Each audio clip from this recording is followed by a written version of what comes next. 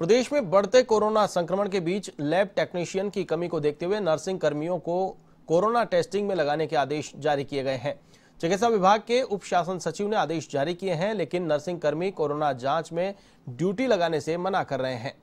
Nursing कर्मियों के विरोध के विपरीत लैब टेक्नीशियन भी आंदोलन पर उतर आए हैं, जिसको लेकर लैब टेक्नीशियन ने जयपुर के मुख्य चिकित्सा अधिकारी को ज्ञापन सौंपा है। लैब टेक्नीशियन का कहना है कि कोरोना संक्रमण के शुरुआत में नर्सिंग कर्मियों ने सरकार से वादा किया था कि कोरोना की जंग में वो हमेशा खड़े रहेंगे, लेकिन अब कोरोना टेस्टिंग में काम करने से मना कर रहे हैं।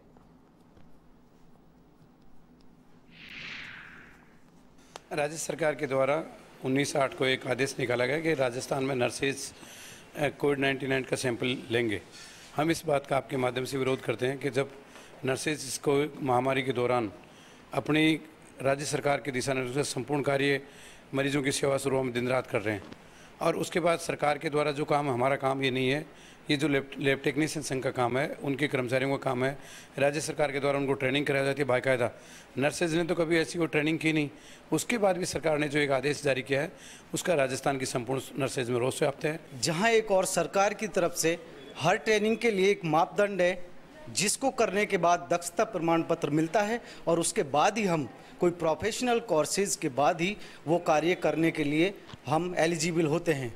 जहाँ एक सरकार का फरमान निकला है कि नर्सेज को सैंपलिंग का कार्य करना चाहिए, जो बहुत ही गलत है।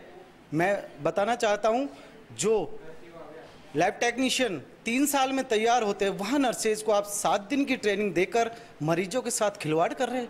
कैसे वो सैंपलिंग कर पाएँगे? जबकि इस इसके लिए गाइडलाइन है ईएनटी e डॉक्टर ही स्वाब लेंगे और सैंपलिंग करेंगे और वो भेजेंगे। प्रदेश भर में लैब टेक्नीशियन के 6,400 पदों में से मात्र 2,800 पद है। इस स्थिति में राजस्थान की 8 करोड़ आबादी में से 25 लाख लोगों की लैब टेक्नीशियन ने जाँच कर चुके हैं।